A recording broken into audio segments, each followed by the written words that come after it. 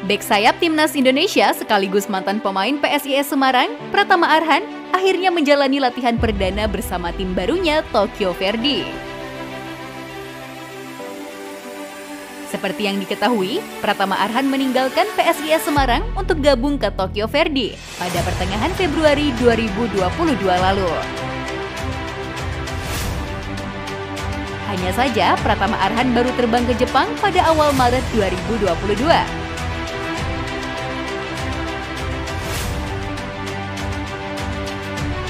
Tokyo Verdy dan Liga Jepang akan menjadi tantangan baru bagi Pratama Arhan.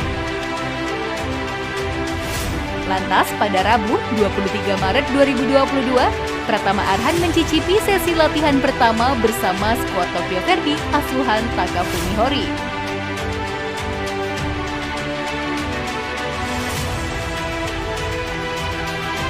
Arhan terlihat bahagia dan tersenyum puas. Akhirnya bisa merasakan atmosfer latihan di Liga Jepang. Terlihat dari unggahan yang dilakukan oleh akun Instagram Tokyo Verdy, Arhan nampak memperlihatkan aura kebahagiaan.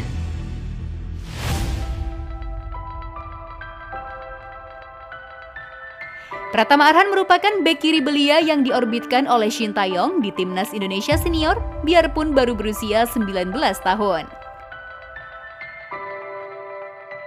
Produk Akademi PSIS Semarang itu membalas kepercayaan Shin Taeyong dengan menjadi pemain muda terbaik Piala AFF 2020.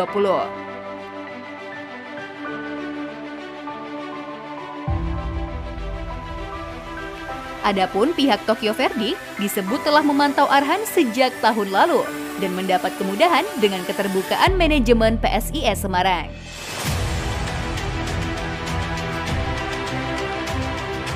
Arhan kini menatap tantangan berlaga di kompetisi dengan level lebih tinggi dibanding Liga Indonesia.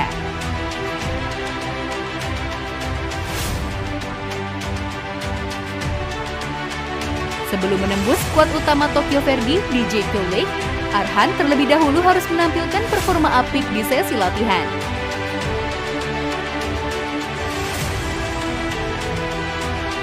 Arhan telah bergabung latihan sejak hari ini, tulis Tokyo Verdy di Instagram.